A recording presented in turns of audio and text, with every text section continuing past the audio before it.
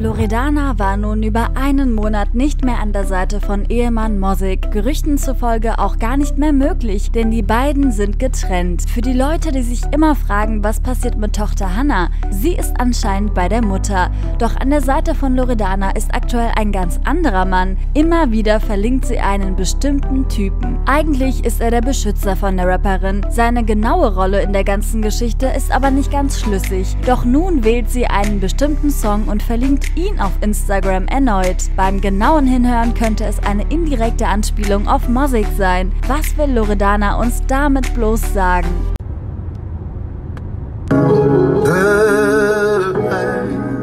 Mach dir keine Sorgen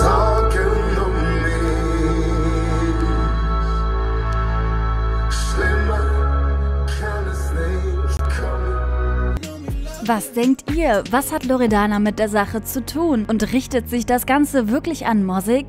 Ich bin gespannt auf eure Meinung. Hinterlasst mir gerne einen Kommentar und seid auch beim nächsten Mal dabei. Ich freue mich auf euch.